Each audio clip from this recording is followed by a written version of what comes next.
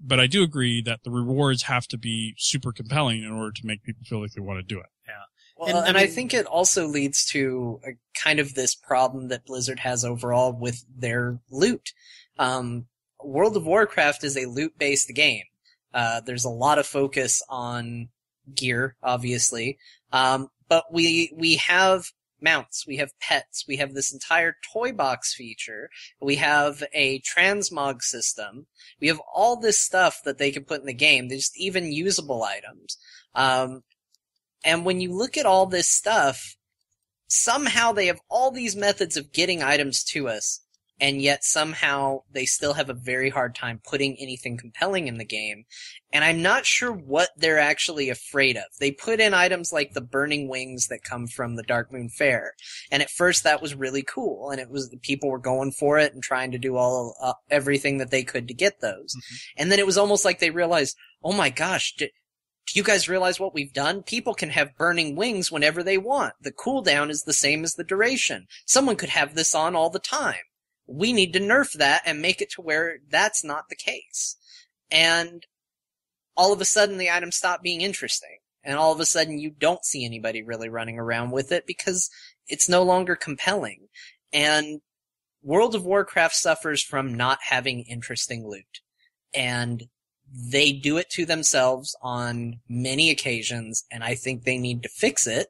And I think that if they could create a bunch of compelling loot that people would want to have on, would want to use, would want to play with, that didn't have stupid amounts of charges or terribly long cooldown timers for two minutes of seeing the effect Mm-hmm. and stuff like that, I think all of a sudden World Treasures become infinitely more interesting if it can dynamically and dramatically affect your character in some way, as opposed to something that you right click to punt a marmot once and then say, well, I'll never do that again.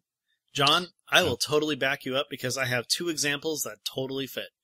Um, you know me, I'm a pet guy. I like to collect them, battle them, and whatnot.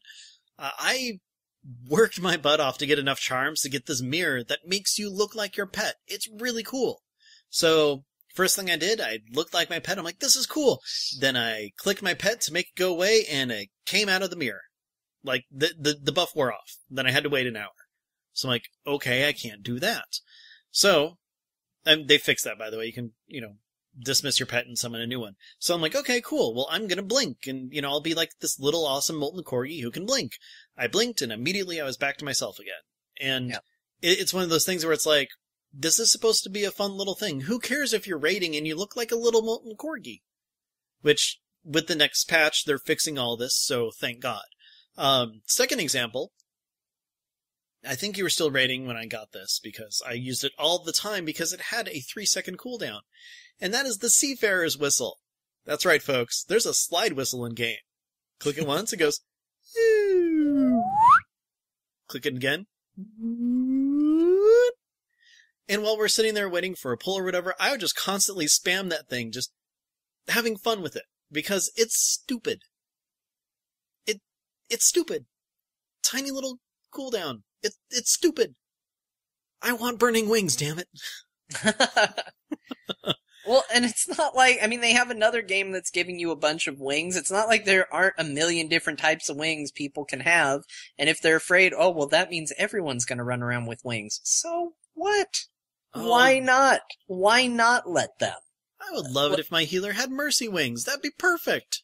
Like how but how is it that they are so worried that it is going to destroy their game that people are running around with these cosmetic items in a world where it's completely acceptable for people to just run around naked or holding a fish or, Or any other last name number of Jenkins. Stupid crap that you can do in World of Warcraft. Um, I mean, I'm not saying make it absolute chaos. Everybody should be able to turn into a full size Ragnaros whenever they want. Obviously, there need to be restrictions, but right now it feels like that restriction is turned up to 11 With or without And- legs, though. That's the important thing. with legs. No one will do it then No. if he has legs. No one wants to be that Ragnaros. No. So hmm. I, I I don't know. To me, that's the biggest problem. Is World of Warcraft is a loot game with uninteresting loot.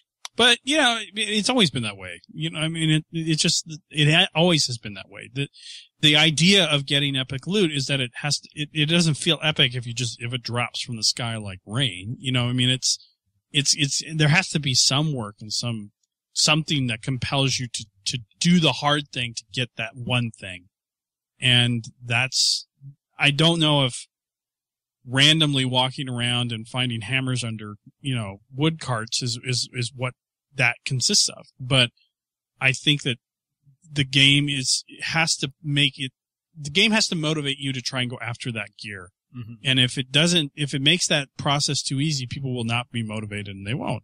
You know, And those those wings, they were really hard to get. Just ask John.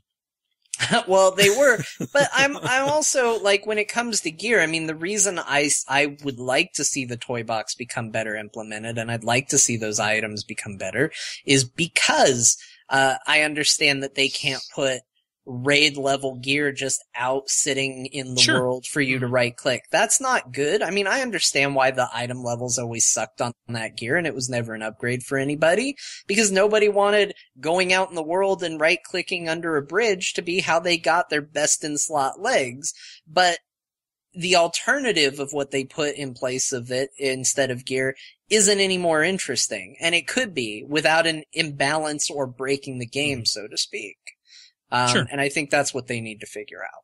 Yeah, I mean, I, I do think that there is that something amazing where once upon a time you looted a thing and uh, there was this really awesome one in a million chance you're going to get that item. Like that stuff's always been in the game and it's actually Right. still in the game.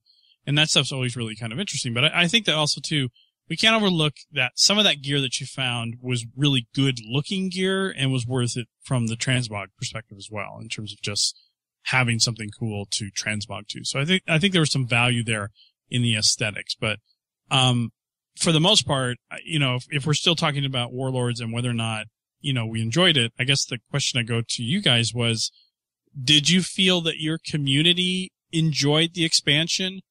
Um, you know, and by community, I mean the, the tight knit group that is your raid teams and, and whatnot. I mean, do you feel like, oh, hey, you know, we all had a really good time and we had a blast and, or was it, was it a, a little less than it was before? Because at the end of the day, I really feel, and I, and I feel that this was a contributing factor to me because I didn't feel like I had a really solid community for this expansion. It really hurt my overall experience with this game. Um, and I, and I think that uh, that's the lesson I learned from this is that without a great set of friends, World of Warcraft is, is, is fairly, can feel very mediocre, mediocre and lonely mm-hmm. sometimes.